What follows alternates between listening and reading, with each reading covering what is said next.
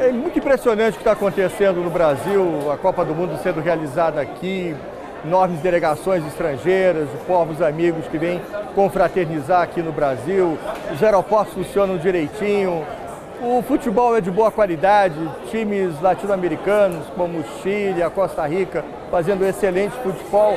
É realmente um privilégio viver esse momento aqui no nosso país.